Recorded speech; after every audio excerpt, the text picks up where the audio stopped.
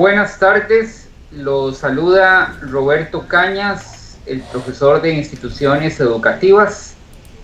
Esta vez eh, no estoy en las instalaciones de la UNED, estoy en mi casa por eh, la pandemia conocida por todos. Les doy la más cordial bienvenida. Esta vez no hay estudiantes en los centros, sino que desde sus casas pueden ver esta exposición de la videoconferencia de instituciones educativas. Eh, se hará, en este caso, la tercera, eh, consagrado al libro Filosofía de la Educación de Jorge Celedón y Jerry Espinosa. Al final de la presentación, con mucho gusto, yo atenderé eh, consultas, preguntas, conexiones en línea para efectos de cualquier indicación que quieran dar. Eh, la universidad va a continuar eh, ofreciendo los diversos cursos de la cátedra. Eh, también va a estar para las siguientes evaluaciones la plataforma Moodle. En esa pueden hacer preguntas ya más de carácter administrativo. Entonces vamos a, pasar a ver una grabación que se hizo en fechas pasadas que abarca el tercer capítulo de este libro y una vez finalizada, con un gran gusto yo atenderé cualquier pregunta. Pasemos entonces al video.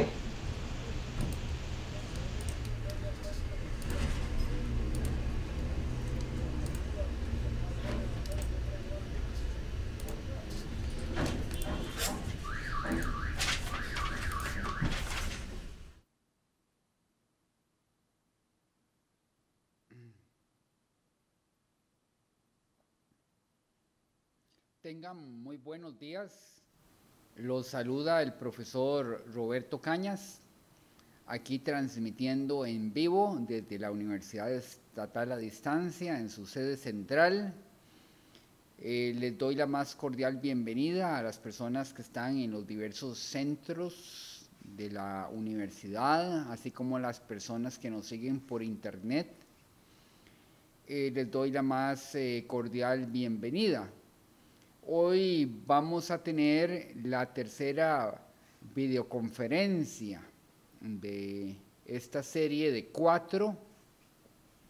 Y entonces, en este caso, yo voy a abordar una serie de temas, aspectos, capítulos eh, acerca del libro Filosofía de la Educación de Jorge Celedón y Jerry Espinosa atinentes al curso Instituciones Educativas, Teorías y Concepciones. Ya se realizó el primer ordinario y ahora resta un segundo examen em, que va a ser evaluado y, entonces yo voy a tratar de eh, explicar los aspectos importantes de estas lecturas eh, en primer lugar, vamos a ver eh, el objetivo propiamente del, del capítulo que nos concierne, que es determinar el contexto moral de la filosofía de la educación para alcanzar un mejor dominio de sus alcances teóricos.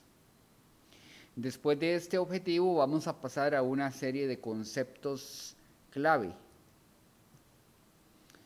en este caso tenemos educación, ilustración, naturaleza, sociedad, y dentro de los autores eh, importantes tenemos a Frebel, a Marx y a Rousseau.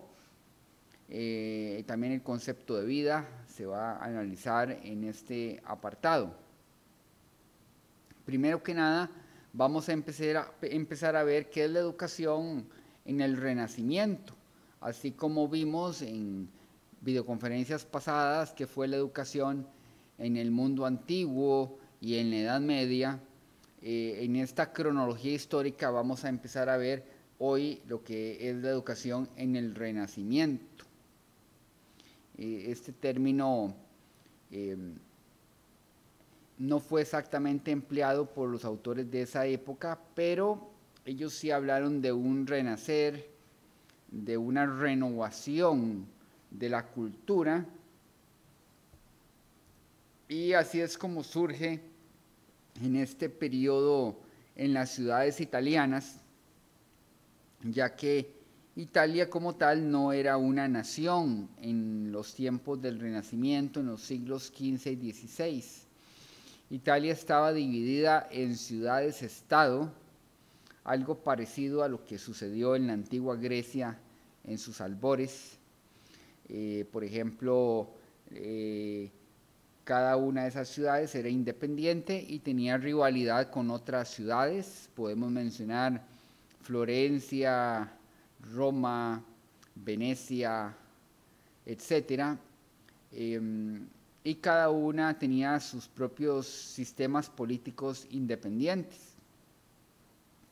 En los siglos XV y XVI surgen ideales políticos y estéticos en los cuales se busca retomar las glorias de la antigüedad clásica. Eh, los griegos antiguos, gestores de la cultura occidental, y la cultura romana, eh, dada desde los tiempos de la República y el Imperio Romano.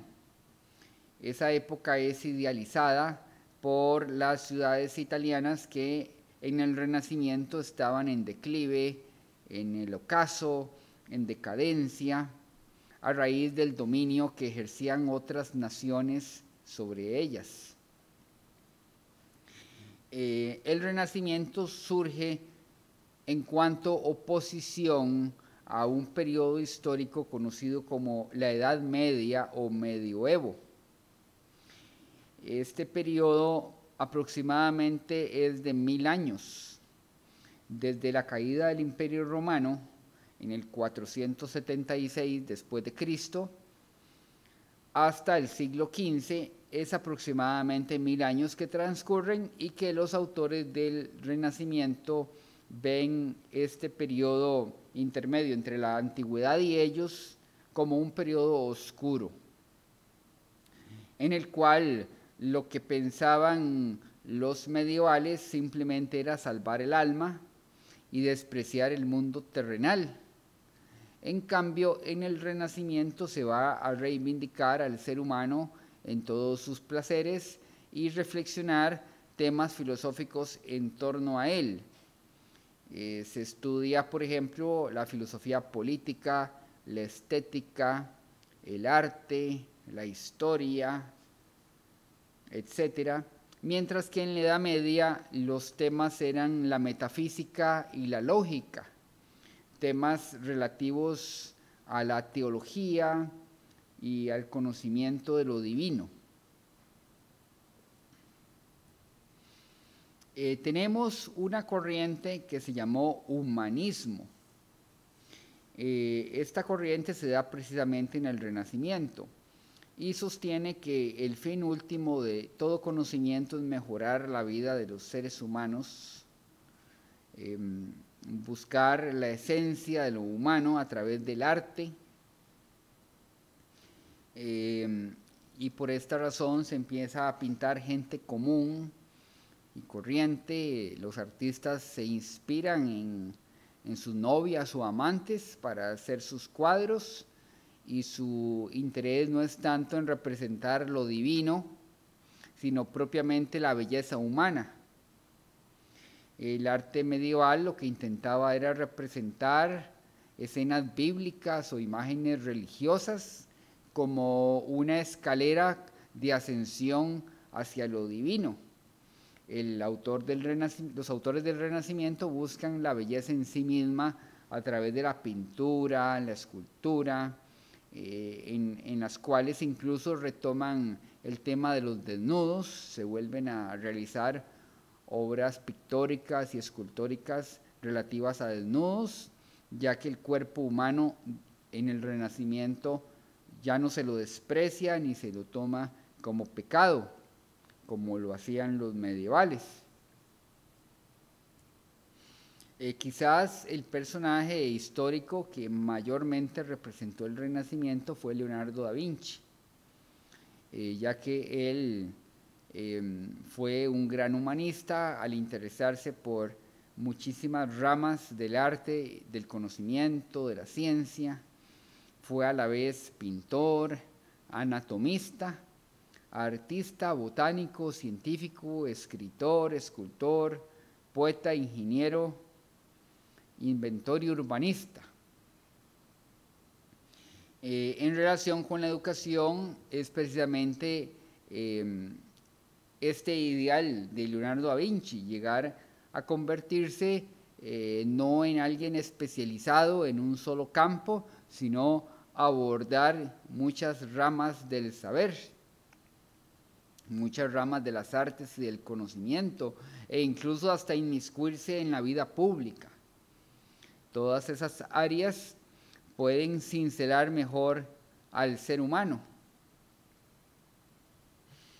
Aquí tenemos el llamado hombre de Vitruvio, que fue un dibujo que realizó Leonardo da Vinci inspirándose en Vitruvio, un famoso arquitecto de la época romana, en la cual eh, se retoma la idea de las proporciones del cuerpo humano, los estudios anatómicos, que no solamente servirán para la medicina, sino también para el arte, ya que el pintor debe de realizar sus dibujos eh, con proporciones y simetría. Eh, por ejemplo, la cabeza cabe siete veces en el cuerpo humano, eh, lo que el pie, la, distancia del pie está en el antebrazo, la medida que está entre los brazos, en los extremos de los brazos, es la medida de la altura humana. todos esos elementos están representados en esta imagen de este hombre de Vitruvio. Entonces, em, el Renacimiento con estos intereses, además de Italia, también se expandió eh, por el resto de Europa eh, a diversas zonas, principalmente zonas de Holanda, de Inglaterra, eh, etcétera y tuvo una gran difusión. Entonces, el Renacimiento significa una era de transición entre la Edad Media y la Edad Moderna. Los autores del Renacimiento van a anticipar, por decirlo así, a la revolución científica que se dará posteriormente, principalmente con Galileo.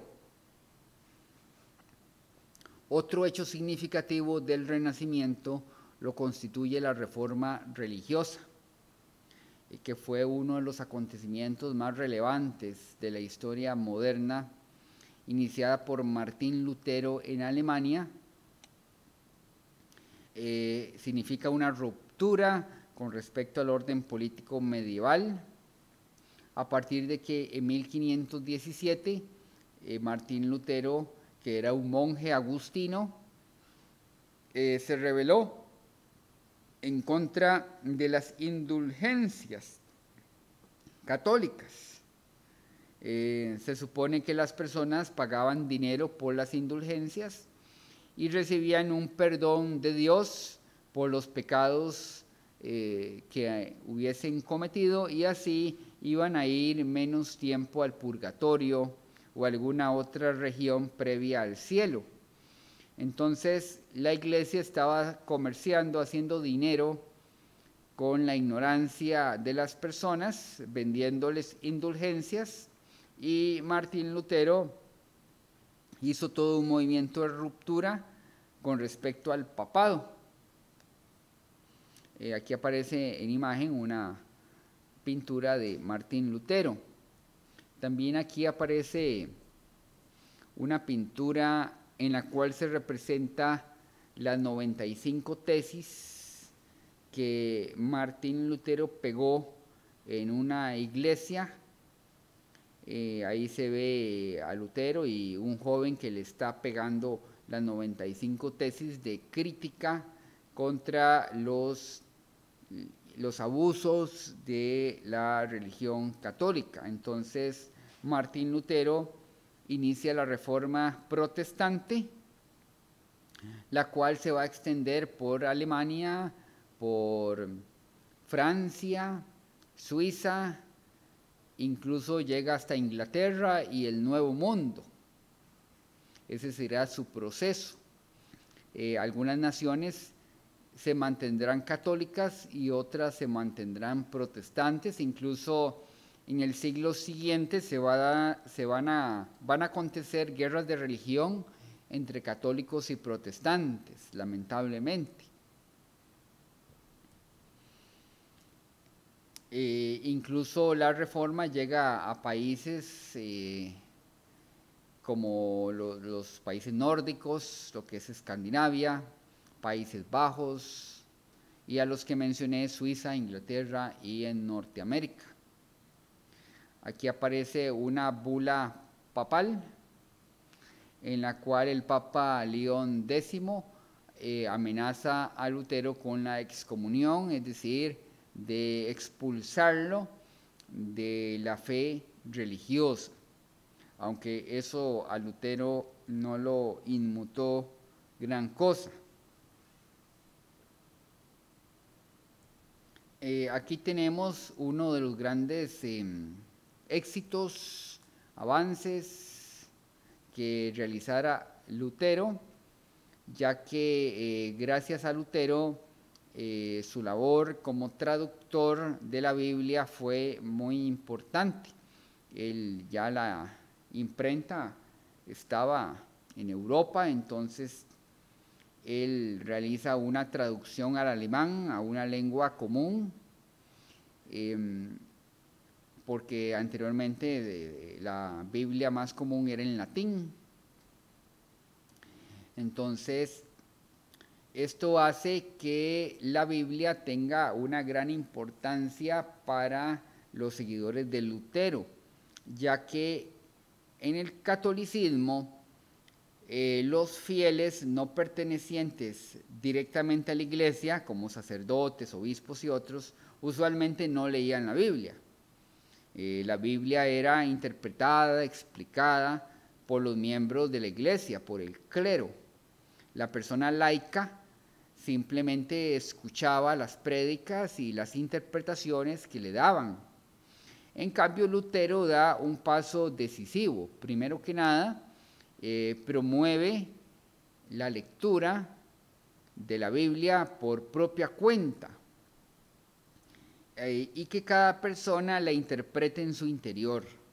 Eh, la posición de Lutero es que Dios velará para que haga una buena interpretación cada individuo.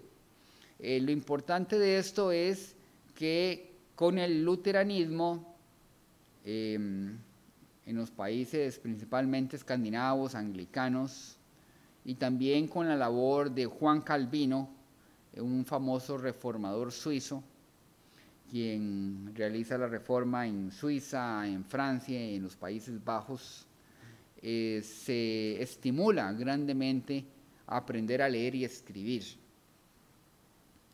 En el catolicismo no estaba ese afán por enseñar la lectoescritura porque si la persona leía la Biblia la podía interpretar mal y se podía convertir en un hereje. Entonces la herejía, el catolicismo y la Inquisición la persiguieron bastante Em, y así la manera de evitarlo era que no leyeran la Biblia y la interpretaran, que, que bastaba con que un miembro de la iglesia les explicara en qué consistían los diversos pasajes y temas bíblicos. Entonces, eh, la importancia de la reforma a nivel educativo, pedagógico es muy grande, porque por primera vez eh, hay un cuestionamiento a la autoridad como tal. Eh, sin embargo, el papado sobrevive y logra extenderse. Es decir, a pesar de la reforma protestante, el papado continuó eh, nombrando a sus papas y predicando su ideología por todo el mundo.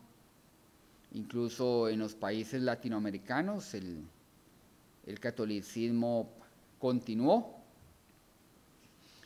sin embargo, la reforma sí extendió una profunda transformación dentro de la cristiandad, em, un cambio en las instituciones y que cada persona interpretara libremente los textos sagrados. Eh, esto contribuyó de manera muy exitosa con la alfabetización en las personas. Eh, Lutero, dentro de su pensamiento, dentro de sus escritos, niega que sea necesario que exista un intermediario entre los creyentes y Dios. Y más bien sostiene que todos los cristianos deberían leer la Biblia. En el catolicismo, el intermediario viene a ser el sacerdote, el obispo, el clérigo en general, eh, es el representante de Dios en la tierra que le interpreta al creyente eh, la doctrina verdadera. En, el caso de Lutero y el protestantismo no es así, no hay mediación con respecto a un individuo. Em, ahora bien, las escuelas luteranas empezaron a promover la lectura y la escritura con el fin de que se eh, estudiara la Biblia y se empiezan a publicar muchas ediciones de estas traducidas a los idiomas de cada pueblo. Un hecho que estuvo estrictamente prohibido en la tradición católica, como en España o en Italia. De hecho, en estas, en estas naciones, lo que existía era la famosa Vulgata, que era una edición en latín de la Biblia, eh, la cual estaba eminentemente prohibido traducirla. Eh, yo les había mencionado que previo a Lutero ya existía la imprenta y por eso es importante citar a Johannes Gutenberg, que fue el creador de la primera imprenta en Alemania en 1449 quien provoca un salto cualitativo en la divulgación del conocimiento. Eh, hasta antes de Gutenberg, los libros eran el monopolio de unos cuantos y estos cuantos estaban ligados siempre con la iglesia. El que sabía leer, escribir, era el teólogo, básicamente, el que podía cultivarse con, los diversos conocimientos. Es decir, había que ingresar a una orden religiosa para poder eh, tener acceso a los libros, em, porque era muy difícil tener en la propia casa los diversos manuscritos, ya que, como la palabra lo indica, estaban eh, escritos a mano y eran raros, caros, de difícil acceso. Ya con Gutenberg y la imprenta, los libros eh, ya no se copian a mano y ya no resultan tan caros. Entonces, muchísimas ediciones de diversas obras empiezan a circular por toda Europa y luego por América, a partir de la gran labor o el invento de Johannes Gutenberg, que era una imprenta de caracteres móviles que podían adecuar según el alfabeto eh, las diversas palabras. Después del Renacimiento hay que hablar de otro movimiento cultural de suma importancia. Este se va a llamar la Ilustración. Eh, a veces recibe otros nombres como Iluminismo o Siglo de las Luces el siglo de los filósofos, el siglo del conocimiento. Eh, este es un movimiento del siglo XVIII que surge con gran brío principalmente en Francia hacia el siglo XVIII, aunque también se da en otras zonas tanto de Europa como de América, incluso llega hasta Rusia. Eh, la ilustración reivindica la razón como arma para liberarse de toda forma de opresión. Aquí tenemos una ilustración de la Declaración de los Derechos del Hombre y del Ciudadano de Jean-Jacques François Le Bavier. Eh, es una pintura. Em, aquí están los artículos de la declaración. Eh, usualmente estos, artículos están inspirados en la obra de Rousseau, de que todo hombre ha nacido libre y diversas formas de entender la libertad. De eso tratan los primeros artículos. Eh, también en la ilustración de esta pintura aparecen dos mujeres, una que se ha quitado las cadenas y representa al pueblo francés. De hecho, tiene los colores de la bandera francesa y también tiene la corona de la soberanía. En este caso es el pueblo que se está liberando. Eh, a la par aparece eh, una mujer con alas de ángel, que es en este caso es un símbolo de la masonería, que fue un movimiento cultural, religioso, eh, una fraternidad secreta que apareció en el siglo XVIII, em, primero en Escocia y luego se extendió por toda Europa y América y la idea es alcanzar la iluminación, el conocimiento y transformar el mundo de acuerdo a ideales. Eh, de hecho, este ser alado em, apunta hacia un triángulo y en el centro está un ojo, el ojo de la providencia que todo lo ilumina. Eh, en gran medida los miembros de las logias masónicas eh, posteriormente constituyeron eh, gobiernos importantes alrededor del mundo, principalmente en los Estados Unidos. Eh, la mayor parte de los presidentes de finales del siglo XVIII estuvieron ligados a la masonería. Incluso el dólar tiene, conserva esa imagen de ese triángulo que todo lo ilumina, es un símbolo masón. Eh, vamos a ver también la definición de Kant, famoso filósofo alemán. Él tiene un ensayo que se llama ¿Qué es la ilustración? de 1784, en la cual explica el movimiento del cual él es parte también. Él dice que la ilustración es la liberación del hombre de su culpable incapacidad. La incapacidad significa la imposibilidad de servirse de su inteligencia sin la guía de otro. Esta incapacidad es culpable porque su causa no reside en la falta de inteligencia, sino de decisión y coraje para servirse por sí mismo de ella sin la tutela de otro. Atrévete a pensar en latín se dice sapere aude, ten la valentía de usar tu propia inteligencia. Y aquí el lema de la ilustración. Eso lo, escribió Kant. Y desde su punto de vista, uno debe de atreverse a usar la propia inteligencia sin que otras personas eh, o autoridades nos digan lo que tenemos que hacer.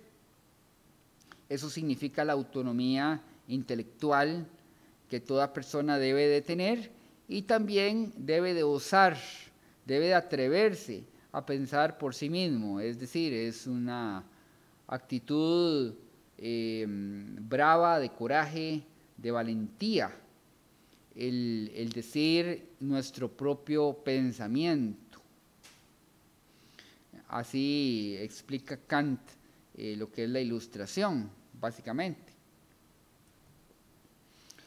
Otro hito dentro de la ilustración fue una gran publicación que se realizó en el siglo XVIII, que fue la enciclopedia o diccionario razonado de las ciencias, las artes y los oficios. Esta obra se publicó entre los años 1751 a 1772. Es una obra monumental, muy voluminosa y tuvo muchos colaboradores. Aquí podemos ver que Rousseau participó, D'Alembert, que fue uno de los directores, Voltaire, famoso crítico de la religión, Montesquieu, el autor eh, que propone la división de los tres poderes de la República, eh, Grimm, un famoso escritor, Holbach, eh, Kesnay, entre otros. sin embargo, Diderot y D'Alembert fueron los directores de la obra, principalmente Diderot, y su finalidad era reunir todos los conocimientos de los distintos campos de aquel momento.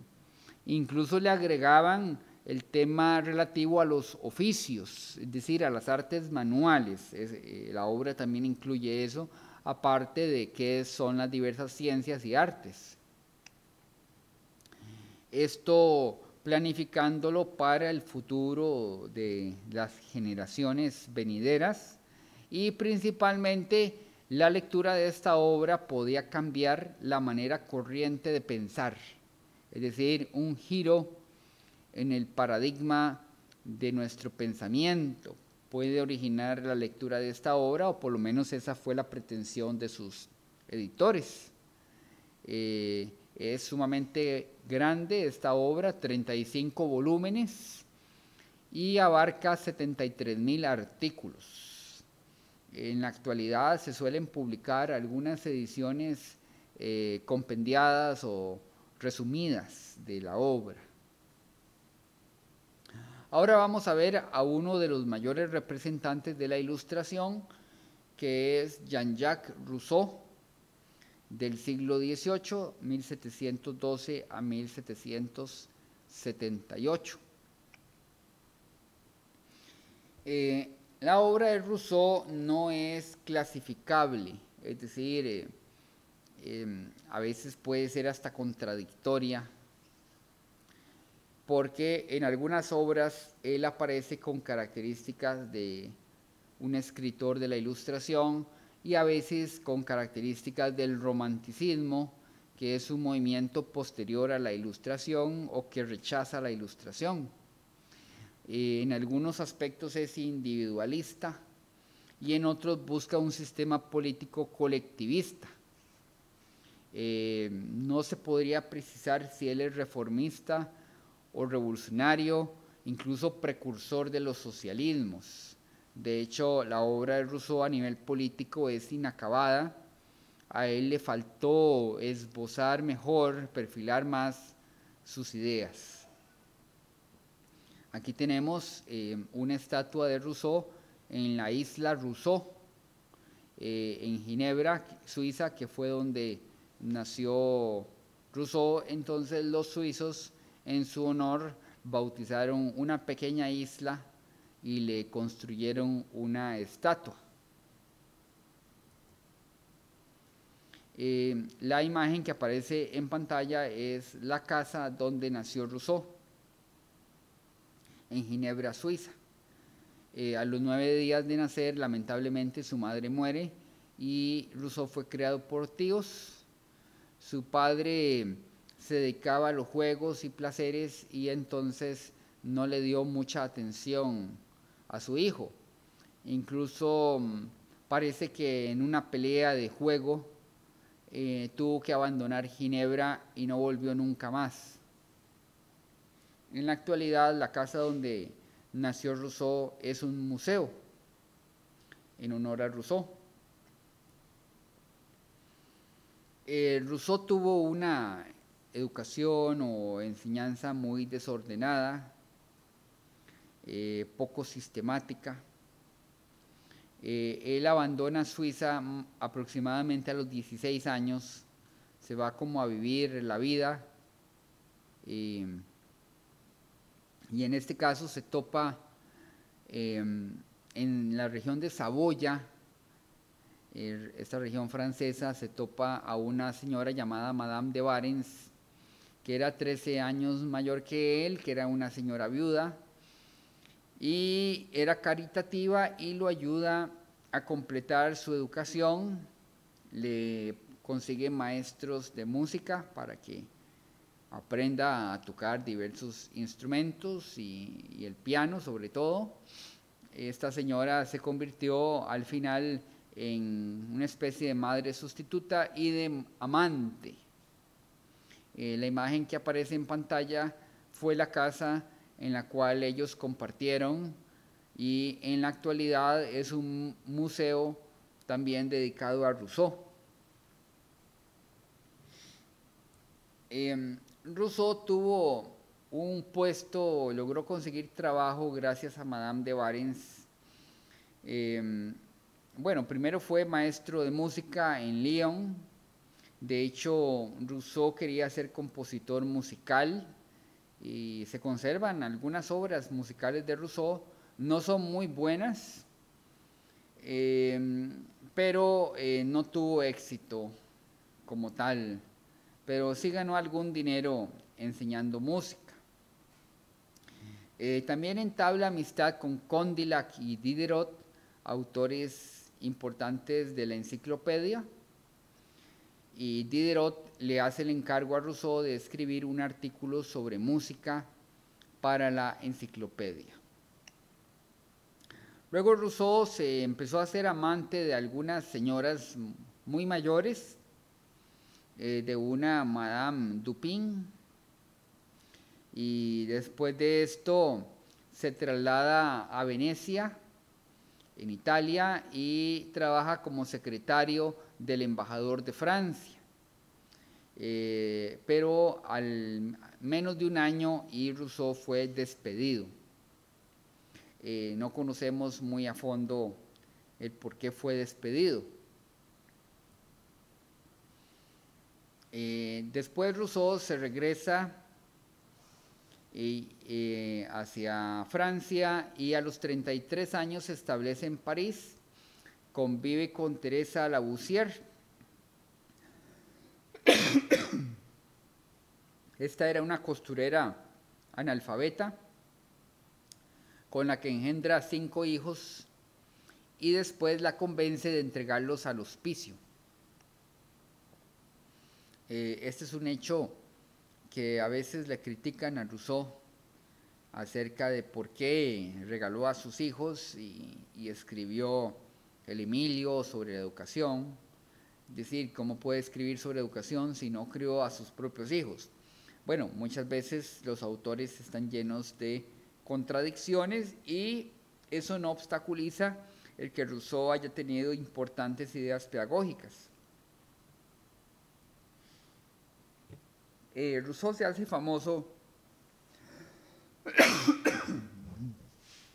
con un discurso sobre las ciencias y las artes de 1750, eh, una academia francesa de Dijon estableció un concurso eh, donde propuso como tema para un ensayo y el restablecimiento de las ciencias y las artes han contribuido a mejorar las costumbres.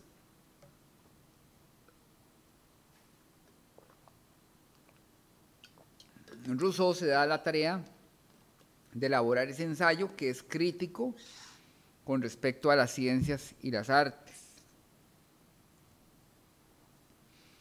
Rousseau eh, tiene una desconfianza por la razón y los efectos negativos del progreso social.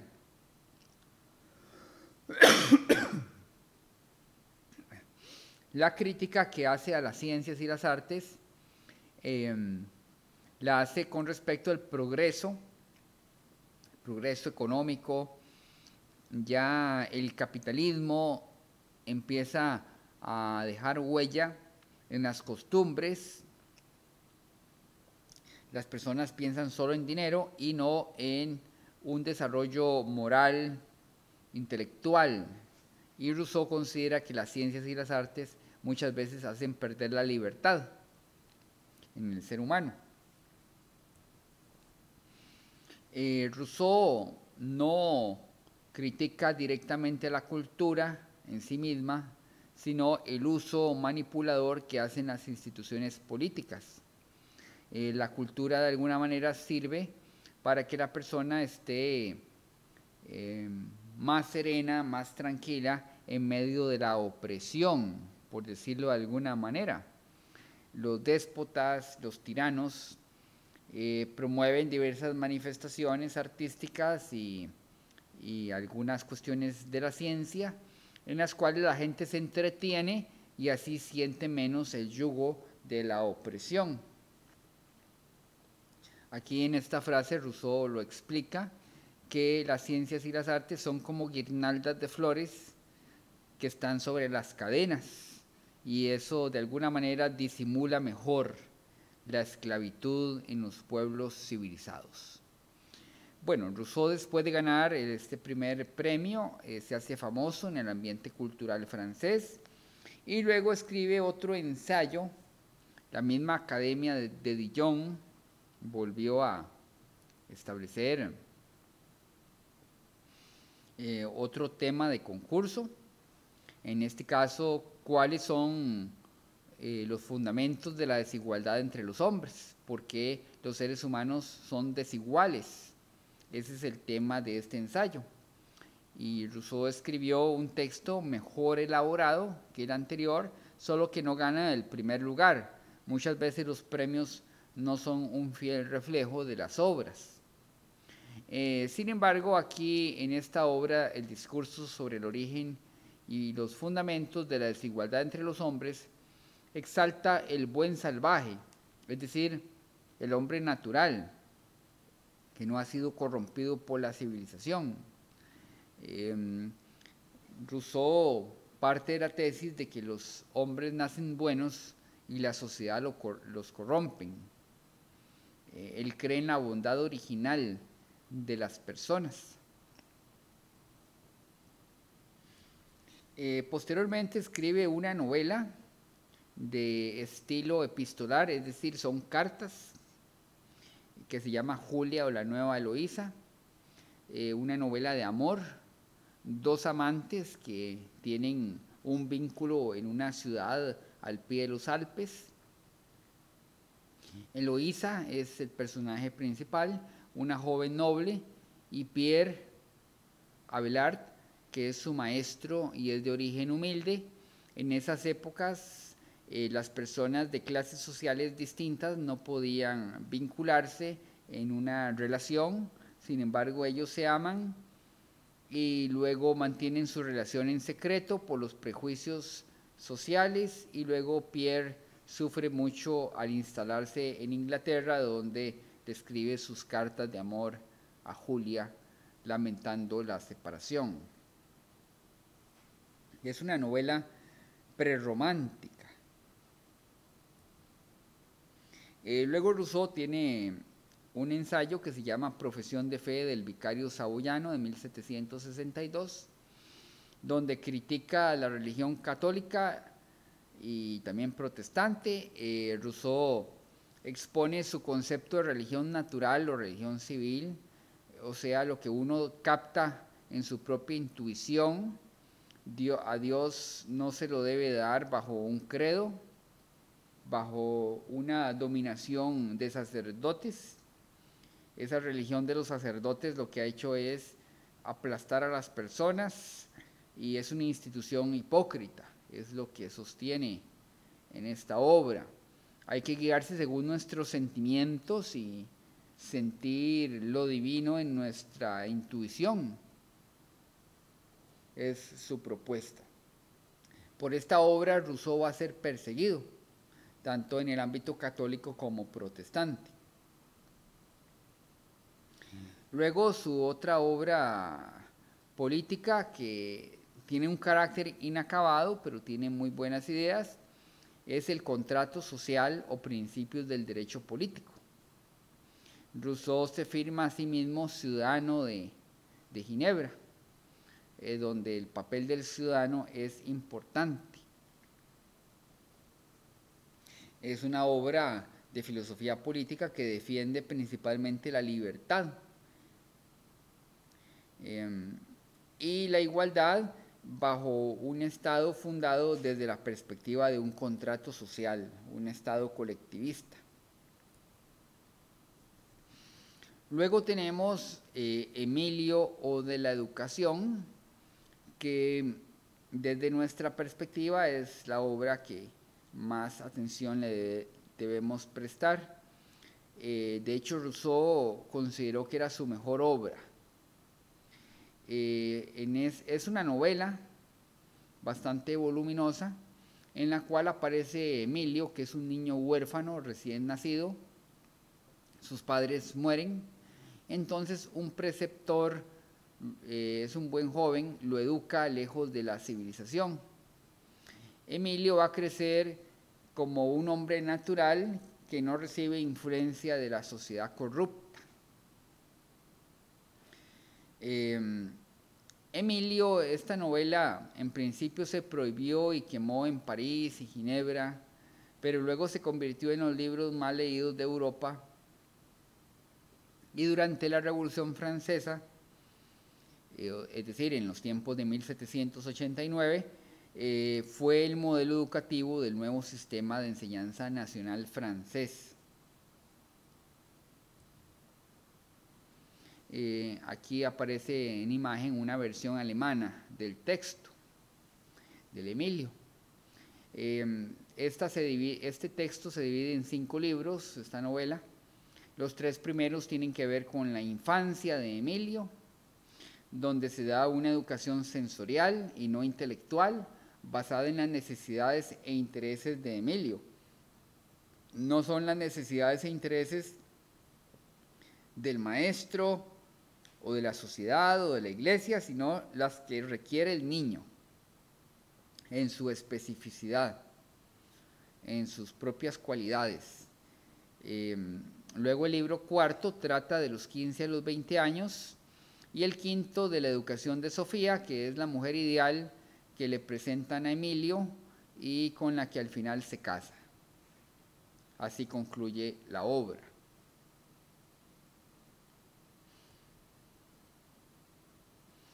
Eh, les había mencionado que el contrato social, el Emilio, profesión de fe del vicario sabullano son textos prohibidos por las autoridades eclesiásticas y también civiles de París, Ginebra, Ámsterdam y Berna. Entonces se dicta una orden de arresto contra su autor. Eh, esta persecución suscitó en Rousseau una paranoia o manía persecutoria eh, que va a conservar hasta eh, sus últimos años. Es decir, en esta concepción se cree que las personas más cercanas están confabuladas con sus enemigos y está siempre viendo cosas que no existen. Además de que se le va a acentuar problemas en su vejiga. Eh, este es un retrato de Rousseau con traje de armenio porque eh, él se fue para Inglaterra eh, y estuvo hospedado en la casa del filósofo David Hume, que fue un famoso filósofo empirista de la Ilustración que invitó a Rousseau al saber de la persecución que estaba siendo objeto. Entonces Rousseau eh, quería pasar como incógnito. Entonces eh, se disfrazaba de armenio, que los armenios es una región em, em, en, rusa, de la antigua Rusia, eh, cerca de esas zonas, y entonces eh, se vestía así raro para pasar inadvertido y que no lo apresaran. Él se llevó a Teresa eh, consigo y se hospedó en la casa de Hume, el cual incluso le estuvo consiguiendo una pensión del rey George III. Lamentablemente la amistad se terminó porque Rousseau consideró que Hume estaba aliado de sus enemigos y que querían hacer algo en su contra. Eh, también Rousseau vivía eh, juntado con Teresa, no se habían casado y eso era algo escandaloso en aquel momento. Entonces Rousseau sí notaba que hablaban de él sobre eso y eso le acentuó aún más la paranoia. Rousseau termina regresándose a Francia. Eh, consiguió una especie de amnistía, de perdón en Lyon y aquí se casa con Teresa y entonces eh, esta amnistía que le dieron las autoridades tenía como requisito que no volviera a publicar. Eh, la pluma de Rousseau era incendiaria y entonces para él era mucho mejor no publicar porque así ya no iba a encender mal los ánimos, ese era el requisito. Eh, sin embargo, Rousseau no se pudo quedar callado y siempre escribió algunas otras obras, principalmente de carácter autobiográfico, tenemos las ensoñaciones del paseante solitario, es el nombre que le da a esta obra, donde hace diversas observaciones sobre plantas, se hace botánico, Rousseau, sobre todo para ver si con las plantas cura sus enfermedades, aunque no lo logró. Aquí presenta una visión filosófica de la felicidad similar a filosofías de la India, en la cual la contemplación y la serenidad del alma, em, buscando aislarse del bullicio del mundo, hacen que la persona esté con un ánimo más feliz y en armonía con la naturaleza. Eso es lo que propone en esta obra. Y la última obra es Las Confesiones, eh, es una autobiografía, pero donde expone temas en los cuales quizás eh, no son tan elogiables, pueden haber temas vergonzosos para Rousseau, eh, sobre todo ahí expone la cuestión de sus hijos, em, también revive etapas de su infancia, adolescencia ambulante, de los sufrimientos que tuvo en esas épocas. Em, y Rousseau comete el error de contar ahí que tenía una relación amorosa con Madame Pinay, otra señora mayor, y entonces esta señora se enoja y va a la policía a criticar eso que Rousseau la delatara ahí, y entonces la obra la prohíben eh, su circulación. Después, 10 em, años después, ya Rousseau a los 66 años está un poco maltrecho de salud. Hay un, un marqués de Giradín que lo invita a su castillo y ahí muere. En la actualidad, Rousseau está en el Panteón de París, que son las tumbas de los grandes filósofos y artistas eh, que han estado en Francia. Aunque Rousseau no era de origen francés, pero vivió la mayor parte de su vida ahí. Eh, ahora vamos a retomar algunas ideas del Emilio, que ya algo habíamos esbozado.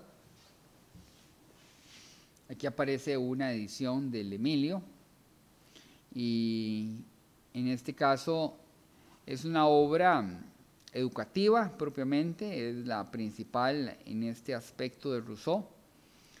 Y aquí se trata de mantener al niño lo más alejado posible de la influencia perniciosa y corruptora de la sociedad.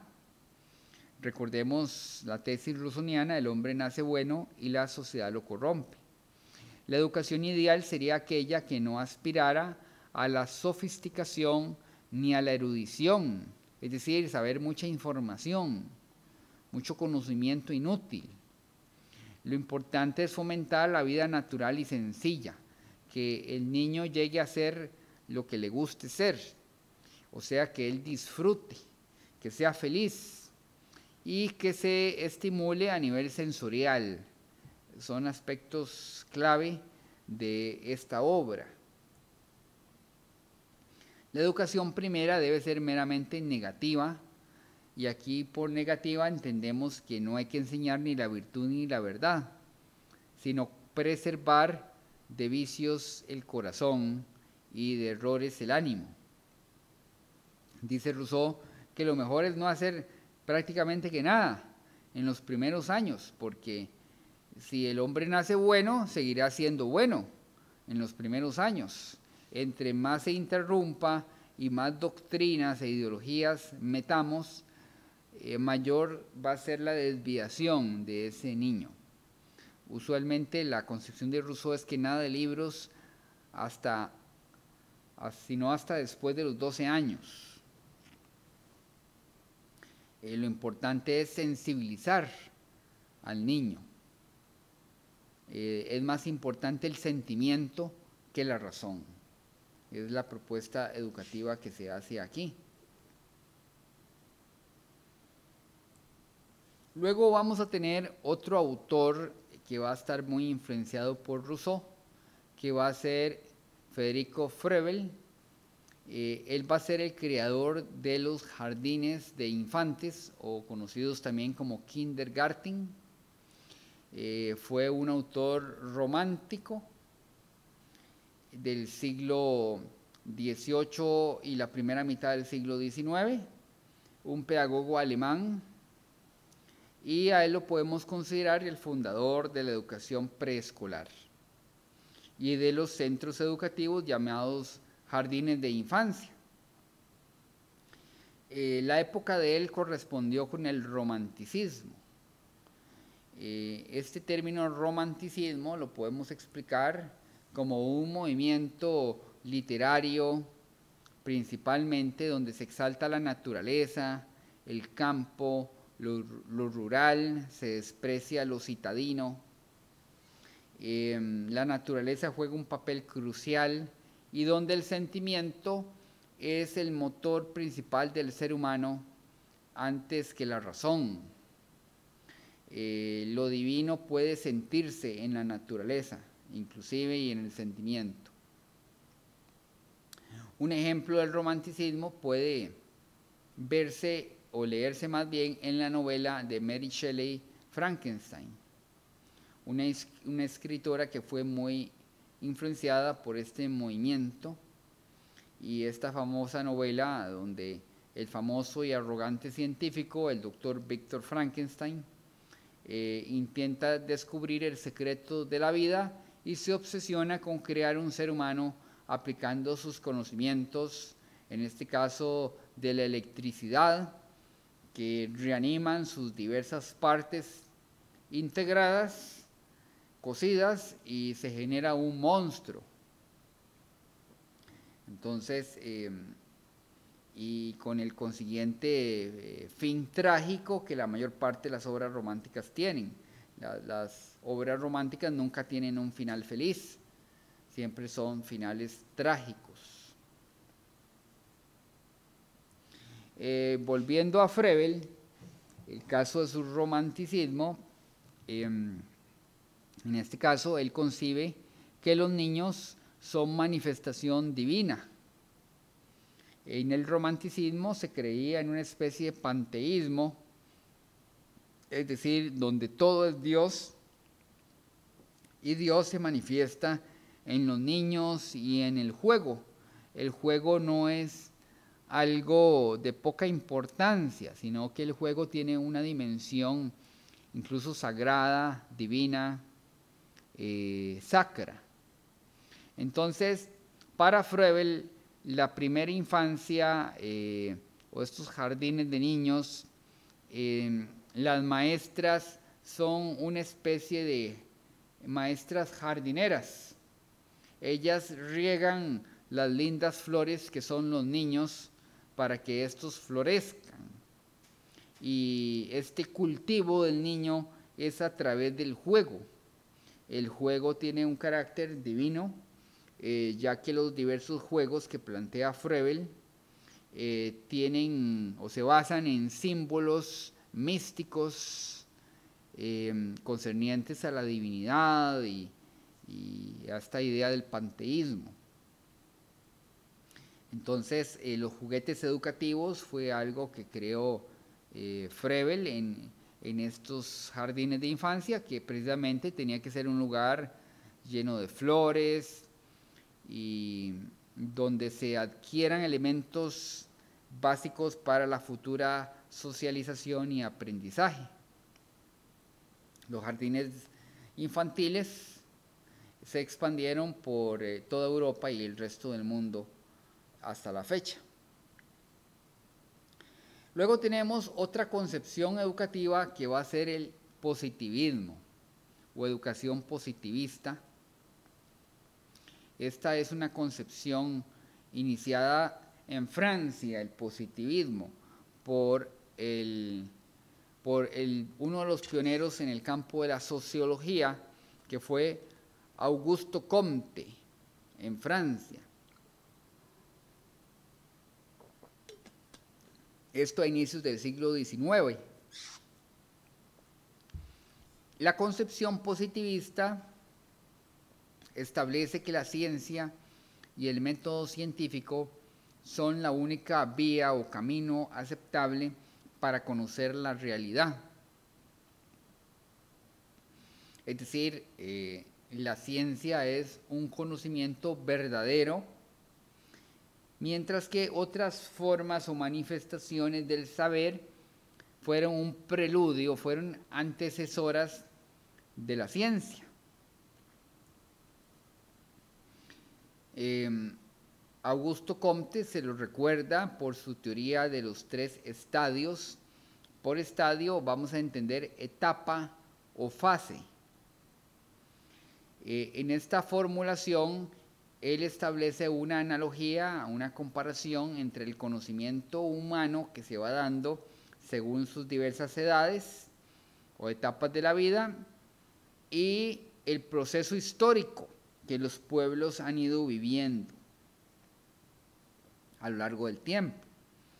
Al igual que los seres humanos pasan por diferentes etapas de desarrollo o estadios, Comte propone que la humanidad pasa por tres estadios de desarrollo. Vamos a ver su teoría de los tres estadios. El primero de ellos es el estadio teológico,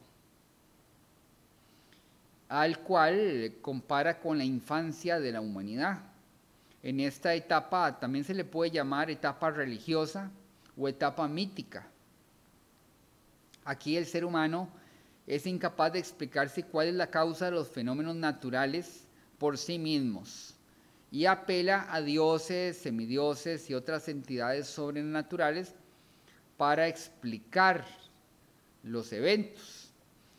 Así como el niño recurre a la fantasía para explicar todo aquello que no alcanza a comprender. Eh, entonces la etapa teológica es una etapa infantil del ser humano donde se recurre a divinidades ante la incapacidad propia de explicar los fenómenos de la naturaleza eh, por sus propias causas. Ahí tenemos a Thor eh, con su martillo, como pudo haber sido Zeus tirando el rayo, Poseidón creando una tempestad o terremoto con su tridente, eh.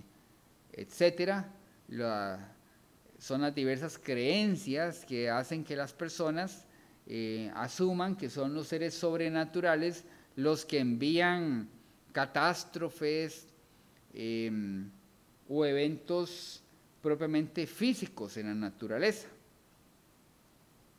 Después de la ley eh, o el estadio teológico, continúa el siguiente estadio, que es el estadio metafísico.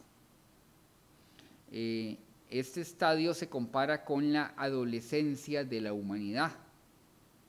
esta es una etapa caracterizada por la rebeldía y la búsqueda de cambios revolucionarios y radicales.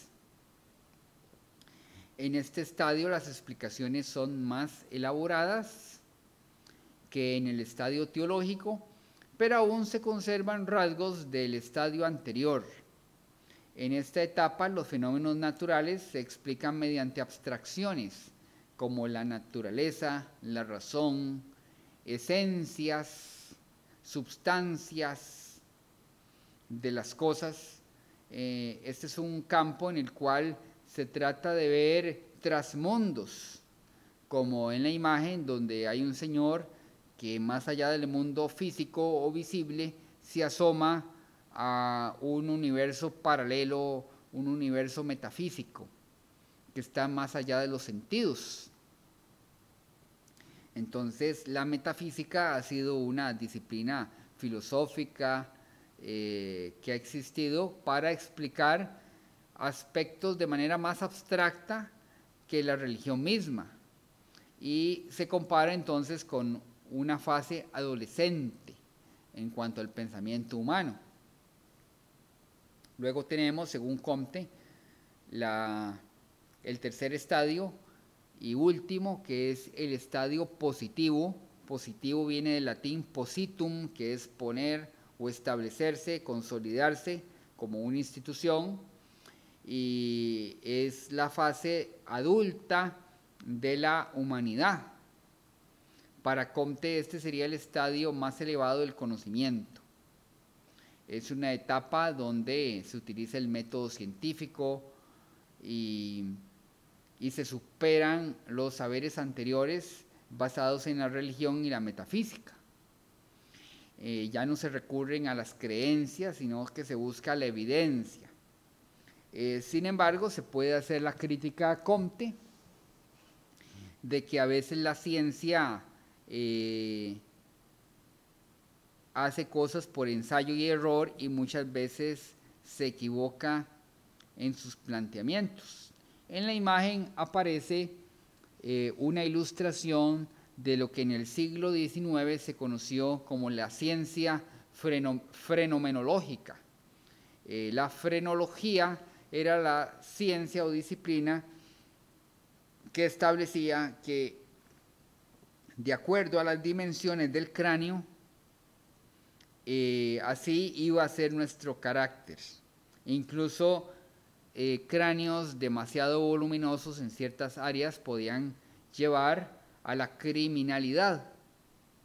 Eh, esta disciplina fue posteriormente rechazada, descartada, hoy en día es obsoleta, no tiene ninguna evidencia científica que gente con más abultado el cerebro en ciertas áreas vaya a tener cierto vicio o ciertas cualidades pero en el siglo XIX se creía casi que de manera absoluta en la frenología. Entonces, eh, en algunas ocasiones la ciencia muchas veces no nos lleva al conocimiento exacto de las cosas. Pero en el siglo XIX Comte sí creía que era posible. Luego tenemos eh, otra pedagogía a señalar, que es la pedagogía a partir de Marx. Karl Marx, el famoso autor de un movimiento de izquierda muy importante. Aquí tenemos la casa donde nació Marx en Treveris, Alemania, una ciudad cerca del río Rin, en el antiguo reino de Prusia, ya que en el siglo XIX Alemania no era la nación como hoy la concebimos, sino que se llamaba el reino de Prusia. Hoy en día es un museo en honor a Marx, esta casa. Eh, la familia de Marx es de origen judío. Ambos abuelos fueron rabinos dedicados a la cuestión religiosa, eran sacerdotes, aunque Marx eh, casi toda su vida fue ateo, entonces eh, se salió del saco de la tradición familiar. Marx fue el tercero de nueve hermanos. Su padre era abogado, próspero y seguidor de las ideas de la Ilustración, mientras que su madre era semianalfabeta. Eh, Marx inicia sus estudios superiores de Derecho en la Universidad de Bonn, pero al poco tiempo se traslada a la de Berlín para cursar Historia y Filosofía. No le fue bien en Bonn y se traslada a Berlín y ahí eh, logra licenciarse en 1841 Eh, la obra que escribe y después publica se llama Diferencia de la filosofía de la naturaleza en Demócrito y Epicuro, que son autores materialistas del mundo antiguo que formularon la teoría de los átomos y el vacío. Aquí aparece una fotografía de 1864 donde aparece Friedrich Engels, que fue el gran amigo y colaborador de Marx. Con él escribió eh, diversas obras y también aparece la esposa Jenny de Marx y las dos hijas de él. Eh, Jenny, la esposa, eh, pertenecía a la aristocracia prusiana y ella rompe con un joven aristocrático para em, unirse a Marx. Eh, este matrimonio carecía de las convenciones sociales porque Marx no poseía nobleza dentro de su familia y también era de origen judío. Em, aunque ellos se casaron siete años más tarde. Em, ya había mencionado a Engels, que Marx lo conoce en 1844, y conocía algunas de sus ideas por sus escritos periodísticos, que Marx también había escrito en diversos diarios de la época. Ellos establecieron una amistad que duraría el resto de sus vidas. Em, Engels le mostró a Marx su libro sobre la situación de la clase obrera en Inglaterra, que convenció a Marx de que la clase obrera debería ser el agente revolucionario en la historia, eh, el grupo social que debe cambiar el mundo. Aquí tenemos una de las obras más difundidas o más leídas de Marx, em, que es el manifiesto del Partido Comunista. Eh, en este caso había una organización de izquierda, de comunistas, en el siglo XIX, y se les encargó a Marx y Engels elaborar un texto representativo, un manifiesto del partido, y este apareció en 1848. Está dividido en cuatro partes Em, y estos son los títulos de cada una de las cuatro partes. Burgueses y proletariados, proletariados y comunistas, literatura socialista y comunista, actitud de los grupos comunistas ante los que son de oposición. Las dos primeras partes suelen ser las más eh, importantes y de mayor contenido filosófico. Eh, precisamente en el año 1848, cuando aparece el manifiesto, eh, por toda Europa se dan revoluciones de origen obrero que intentan cambiar las instituciones políticas que se habían derivado de los ideales de la Revolución Francesa, es decir, las sociedades políticas basadas en un liberalismo, en un capitalismo, y entonces los obreros ante las situaciones em, de desigualdad buscaron rebelarse. Esta es una pintura en la que aparecen banderas, unas apoyando principalmente em, los ideales revolucionarios franceses de finales del siglo XVIII y eh, los comunistas que enarbolan la bandera roja y, ellos caen derrotados, es decir, los movimientos socialistas eh, fracasan en estas revoluciones de 1848. Em, sin embargo, son las primeras manifestaciones que hacen los obreros eh, a nivel social en las calles para rebelarse contra el sistema. Eh, primero se dieron en Francia, y luego por toda Europa el ferrocarril, el telégrafo contribuyeron mucho en la difusión de eh, de estas revoluciones. Precisamente los medios de comunicación son un arma poderosa para estos movimientos. Eh, aunque su éxito inicial fue poco duradero y todas ellas fueron reprimidas o reconducidas a situaciones políticas de tipo conservador, su trascendencia histórica fue decisiva. Luego Marx pasa un periodo en Londres, eh, bueno, él va a Francia, vuelve a Alemania, estuvo en Bélgica, pero en la mayor parte de esos países lo expulsan, lo destierran, eh, porque lo consideraban una amenaza política. Él llega a Londres en 1849 y ahí va a permanecer el resto de su vida. Eh, y en Londres va a vivir mucho la pobreza, incluso pobreza extrema. Eh, Engels le daba algunas ayudas económicas. Eh, Marx también se involucra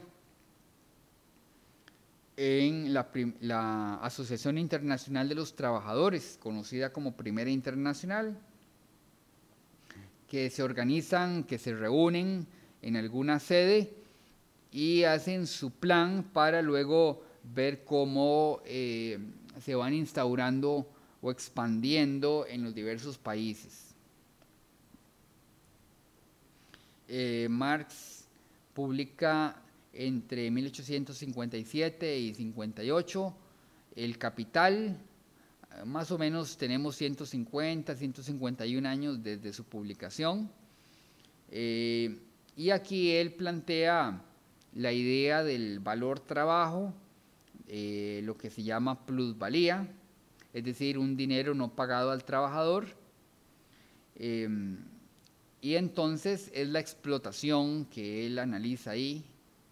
Además de ser político, habla también de la dialéctica, de las leyes sociales que pueden hacer surgir un nuevo mundo, una nueva sociedad colectivista y donde ya no haya explotación a través del trabajo. El ahora se llama El Capital o Crítica de la Economía Política. Posteriormente a la muerte de Marx, Engels publicará otros tomos, serán tres tomos, eh, y es la obra más voluminosa de Marx, 2.500 páginas. Em, ya los últimos años de Marx es hacia 1881, cuando ya muere su esposa Jenny, y luego pasan 15 meses y Marx se enferma de bronquitis y pleuresía que lo conducen a la muerte en 1883.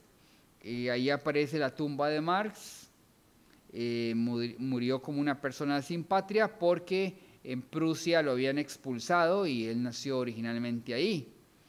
Eh, sus familiares y amigos lo enterraron en, el cementerio de en un cementerio de Londres y pocas personas acudieron a su funeral. De hecho, Marx en el siglo XIX tuvo muy poca audiencia o público en general. Eh, el autor de las izquierdas que más era seguido y venerado era Bakunin, un famoso autor ruso anarquista, y los anarquistas eran el movimiento más efervescente del siglo XIX. Marx casi no fue tomado en cuenta en el siglo XIX. Es hasta el siglo XX, principalmente con la Revolución Rusa de 1917, que las ideas de Marx cobran un carácter eh, muy abundante. Eh, bueno, aquí tenemos las obras de Marx más importantes. Esta primera fue la que mencioné, diferencias entre la filosofía de la naturaleza de Demócrito y Epicuro, su tesis de graduación. Luego crítica de la filosofía del derecho de Hegel. Hegel para Marx representa sus fundamentos teóricos, la cuestión de la dialéctica va a estar presente en él, solo que Marx va a decir que Hegel estaba al revés y lo que él hizo fue ponerlo de pie, o sea que Hegel estaba de cabeza y Marx lo que hace es ponerlo eh, en dos piernas. Luego los manuscritos económico-filosóficos que se publican póstumamente, donde habla principalmente del tema de la alienación en el trabajo, en el mundo capitalista. Luego las tesis sobre Feuerbach, donde aparece esa famosa eh, frase, muchos filósofos se han dedicado a interpretar el mundo, pero lo importante es transformarlo. La miseria de la filosofía y contribución a la crítica de la economía política es donde empieza a aparecer su idea del materialismo histórico. la idea que eh, la producción económica determina los diversos comportamientos humanos. Y luego obras en cooperación con Engels, la ideología alemana, la Sagrada Familia, manifiesto del Partido Comunista. Luego tenemos, eh, bueno, Marx no fue un pedagogo. Eh, sin embargo, dentro de las 10 medidas después de la revolución que las sociedades avanzadas deben tomar, él establece un aspecto em, pedagógico en, una de, en la última de las medidas. Eh, se le pueden llamar mandamientos porque son 10, entonces son medidas que adoptaron las sociedades que hicieron las revoluciones comunistas y siguieron las ideas de Marx. Eh, bueno, aquí se habla de cómo se debe de expropiar eh, los, bienes de los burgueses, impuestos, prohibir el derecho de herencia, los que quieran emigrar o irse del país, se les confiscan las cosas. Eh, una banca estatal, eh, está prohibida la banca privada. Eh, después que los medios de transporte, las fábricas, deben de ser de propiedad del Estado. La obligación de todos para trabajar y combinar la industria con la agricultura. El que nos interesa es este último punto, el, 10, el que está acá. Este aspecto tiene que ver con em, la educación pública y gratuita de todos los niños. Es decir, em,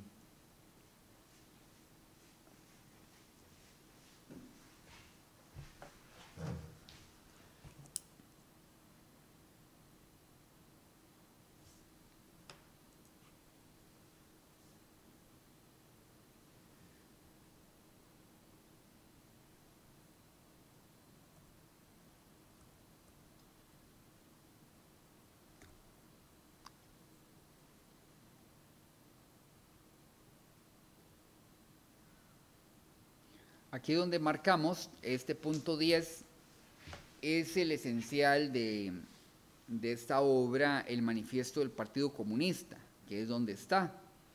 Les mencionaba que Marx no era un pedagogo. Sin embargo, esta afirmación ha hecho que pedagogos marxistas la elaboren eh, a mayor profundidad en las diversas sociedades donde se ha instaurado su, sus planteamientos. Eh, la educación debe ser pública y gratuita de todos los niños. Es decir, el Estado velará para que sea, así sea. También debe de eliminarse el trabajo infantil. Esto se daba muchísimo en los tiempos de Marx. Los niños trabajaban en fábricas a una edad muy temprana. Eh, y una educación en la cual se combina con la producción material. Em, este tipo de educación no es como la que se da en, la mayor parte de los colegios tradicionales nuestros, donde ese saber supuestamente diversificado eh, no tiene nada de práctico. Es decir, este es un tipo de educación, la que propone Marx, en la cual se da más que nada en los llamados colegios vocacionales, que tienen la inspiración en esta tesis de Marx, donde se combina eh, la formación intelectual con em, una, un campo ya más empírico o práctico, donde ya el estudiante puede hacer cosas e incluso eh, graduarse en un oficio, en una determinada rama del conocimiento, incluso ya puede trabajar inmediatamente de haber terminado su, su formación primaria y secundaria. Entonces, tanto a niños como a jóvenes se les enseñan cuestiones relativas a la técnica y tecnología em, y cosas por el estilo. Es decir, no es un saber puramente abstracto la educación de memorizar nombres, como muchas veces la educación tradicional hace, sino que la educación marxista es más práctica, inclusive eh, pretende integrar a las personas, que el aula sea colectivista, donde nadie haga nada por aparte, de manera aislada, sino que se haga como un conjunto, como un todo y sin diferencias de clases sociales en el aula. Eh, todos son iguales dentro del aula y se busca ese sistema colectivista para aprender. Eh, y bueno, como les decía, diversos pedagogos marxistas han desarrollado mayormente estas tesis de Marx. Eh, bueno, parece que no hay dudas. Espero haberles ayudado en la comprensión de este tercer capítulo. siempre se va a emitir una próxima videoconferencia, la número 4, eh, la cual va a ser eh, transmitida el, el, día 19 de abril, que es el domingo 19 de abril, de, a partir de las 9 va a ser el horario. Yo igualmente voy a estar en vivo para cualquier consulta que se les ofrezca. Entonces yo les doy una cordial despedida, cuiden mucho en estas épocas virulentas, pandémicas, y, van a utilizar entonces eh, las plataformas virtuales de la UNED para lo que resta en la cuestión evaluativa, la tarea y, el otro examen que va a hacer un trabajo probablemente. Ahí ustedes van a estar informados y em, estoy siempre dispuesto a ayudar a los estudiantes. Y que pasen un feliz día. Eh, los saluda el profesor Roberto Cañas. Hasta luego.